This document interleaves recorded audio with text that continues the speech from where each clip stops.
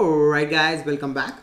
In this video, we are going to be learning how to convert text into speech. If you're not following this IQ series, for every 100 IQ, I'm adding one line of code.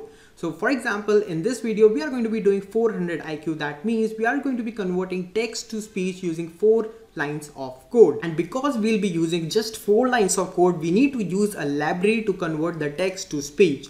So what I found this library is pyttsx3 which is works perfectly for converting text to speech.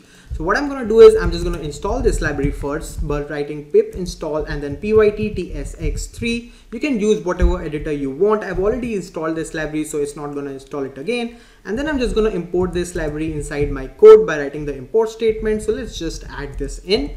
After that, we need to initialize this library. So I'm just going to write engine equals to and this is just a variable you can call it whatever you want but i'm just going to call it engine and then to initialize the library just write the name of the library and then init and this should initialize the library and then you just tell the engine whatever you want it to say. So i'm just going to write engine dot say and inside parentheses you can just say uh, build with python is awesome. And then finally we need to tell the engine to wait so that it has completed all the words. So we are just going to write engine dot run and wait over here and that's pretty much it. So let's just run this over here and see how it sounds. So inside my command line, I'm just going to write python and main.py and Build press enter. Python is awesome. Let's just hear it once more.